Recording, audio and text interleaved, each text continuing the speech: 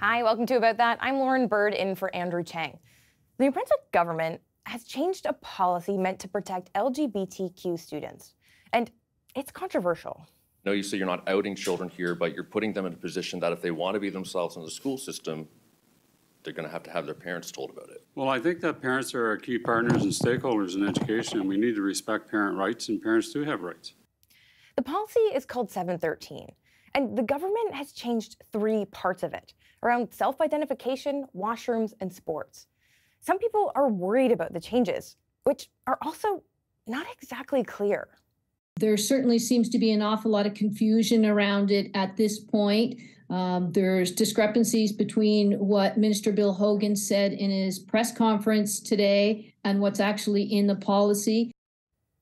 To understand the changes and the controversy, it's important to understand the policy to begin with.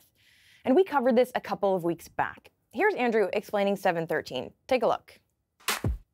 I recently changed my name to Sade. Policy 713 ensures that my name and my pronouns should be used in my school setting. Okay, so what is Policy 713? Well, it's a set of guidelines that came into effect in New Brunswick in 2020, setting out minimum requirements for schools to be safe, welcoming, inclusive, and affirming environments for LGBTQ students. What does that mean? Well, it means things like not using homophobic language, making sure transgender kids have the right washroom access, and you know, letting them take part in the extracurriculars, as with sports, that match their gender. It's all stuff that had pretty broad support until years later, there suddenly wasn't. About a month ago, the group helping implement this policy, you know, training teachers, for example, suddenly had its funding cut. The explanation the policy was now officially under review. Could I ask the minister to commit to tabling a full inventory and report on the complaints received? Minister of Education, Early Childhood Development. Uh, thank you, Chair. Uh, I'd invite the member if she wants to see uh, what uh, I've received, then uh, she's certainly welcome to submit an RTI. So it's a bit weird, right? Like, like first that a policy would be reviewed so quickly after it was first implemented, but then to be so dodgy on how much backlash there really is. Like, you know, why wouldn't you just redact names and then and then just show it all? Now, New Brunswick's premier Blaine Higgs says there's one part of the policy that they're most concerned about. The section that allows transgender and non-binary students to choose their own names and pronouns without parental consent, but also that parents shouldn't even be notified of any name change without student consent. So if Alice wants to be Bobby, not only should teachers agree without asking mom and dad, they shouldn't even tell mom and dad unless Bobby says yes. Oh, I think for, for purposely to be hidden from the parents, there's a problem with that. Okay. You're here questioning that a parent should not, should have no right to know. I mean, so that, that's kind of hard to conce- uh, hard concept to, to grasp in, in the real sense. A lot of parents say they would want to know what's going on with their kid and that the school shouldn't keep secrets from them. But advocates say protecting kids should come first.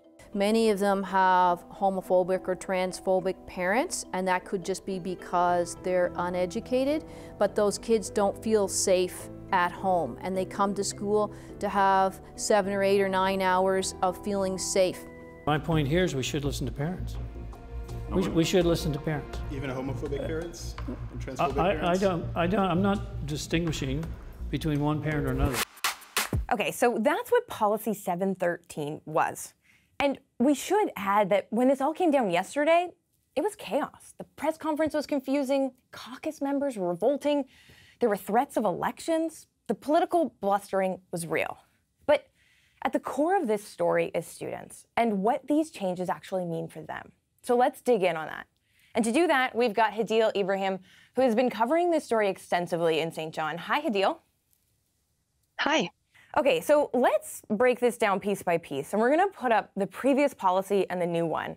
So, what are the changes for section 6.3? And that's the self identification section.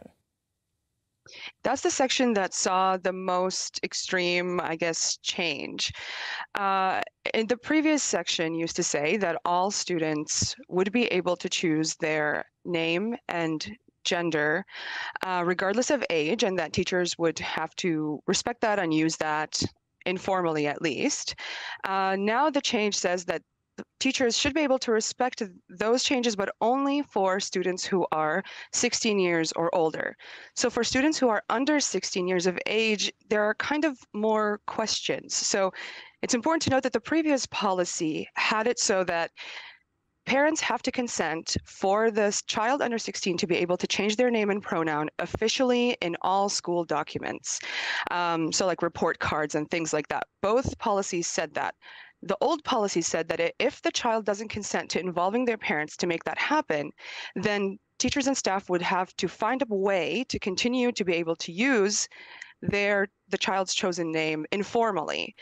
The new policy says if the child doesn't consent to involving their parents, then they should be referred to a school psychiatrist or a school social worker to see if it's possible to um, get them to eventually involve their parents. It does not say what should happen or what teachers should do uh, about the child's chosen name informally while that process is still going on. So that's that's the biggest change in this case. Okay, so the next section is 6.1.5 on sports. And what are the changes in that section of the policy? Uh, that section used to say that all children should be able to participate in extracurriculars that are safe and welcoming and consistent with their gender identity. This change, the new policy, removes the mention of gender identity. So it just says safe and welcoming and ends there. Okay, so not a lot of context about what's happening there then. And then the last section is washrooms, section 6.4. So what are the changes there? So people were a little worried uh, because the minister was saying that that section is reviewed to make sure that female students are comfortable sharing a washroom with a biological male. So people were worried that there would be some limitations to access, uh, but there were no limitations. Uh, there were no significant changes to that policy because it also goes word for word, uh, matches word for word the Human Rights Act. So um, the changes there is just that the every school should have a gender neutral washroom, at least one that is private. So they added the word private. And they also added a line that says uh, every school should have uh, one universal, at least one universal change room. Okay. Wow. So this is all like a bit vague and kind of confusing. Like, how are people in New Brunswick reacting to this? Well, there was a lot of political turmoil. Uh, before the announcement was made, the Minister of Education said there was consensus in caucus. Um, and then once the announcement was made, uh, about eight members uh, refused to join uh, the legislative uh, question period, and they sent out a statement saying that they were extremely disappointed uh, and that this process was very opaque and there was no transparency. Uh, so there was some confusion there about what that means. Uh, the premier said that there is going to be a green bill that they're going to have to vote on soon, and if those MLAs don't return, then he will he could trigger an election. Are, are you worried that you might have to step down because of that eight members of your caucus today, or maybe the next week? Um, no, I'm, I'm not. It, it potentially could call, um, force an election. That that's a possibility. It's a possibility. Would you do that? Would I do that? Uh, it's not without the realm of possibility. I believe that strongly in the case of, of um, finding a solution here where we do not exclude uh, parents in their child's life. But that all fizzled out, and uh, eventually they all came back, and the bill was the green bill was defeated. For advocates, uh, there was a lot of uh, there was a lot of confusion. Uh, people weren't sure exactly how this will impact children, especially children under 16, uh, and they are worried that this means that they there won't be any consequences if a teacher wanted to purposefully uh, misgender them or or uh, single them out. Not every single teacher um, is accepting of 2S LGBTQIA students or gender nonconforming or trans students. And so one of the problems with this this policy is that it opens it opens the door for those teachers to out students. Um, it's it's just bad. It has created a, a, much less safe environment for these kids. Um, what are what's happening next? What are you watching for? So I'm hoping to be able to confirm with the Minister of Education whether these changes mean that teachers will be forced to use a child's birth name, regardless of their request uh, to use a certain name or gender if they were under 16 without parental consent.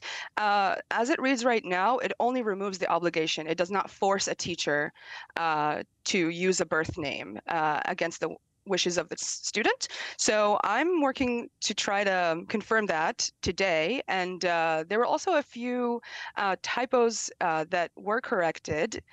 It is my understanding that the policy as, as it is now is um, complete, like uh, the review is done, and it will come into effect on July 1st. Wow. Okay, we'll keep an eye on it. Hadil Ibrahim, thank you so much. Thanks for having me.